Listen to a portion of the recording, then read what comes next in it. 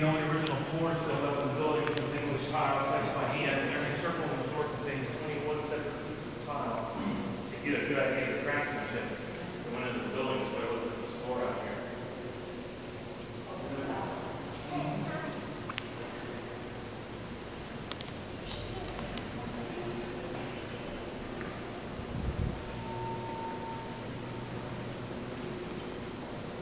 One of the unique features of the building is the fact that we do not have a dome on top of the building.